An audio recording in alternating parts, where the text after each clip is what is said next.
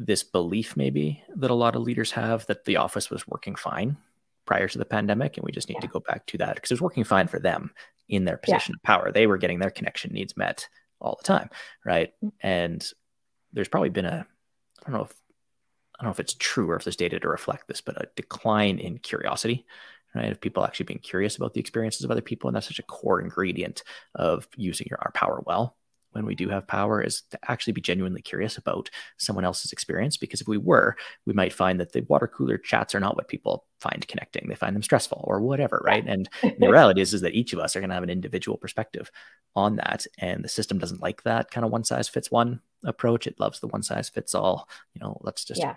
blanket policy this. Um, so that's, I think, a, if we if we slide over into some of the other kind of challenges in the workplace or problems, we, we find this misuses of power um, bucket, which really finds it like it, misuses of power are often very subtle. Um, oftentimes don't look like misuses of power because, from my perspective, you know, they, it's working fine. Right, everybody's coming into the office and they're smiling. Right, they're not mm-hmm. telling me that they're stressed out or frustrated or you know don't have childcare, so they're scrambling every day or like whatever it is that's driving that. Um, we have this expectation, I guess, is that it works for me and it's going to work for everybody.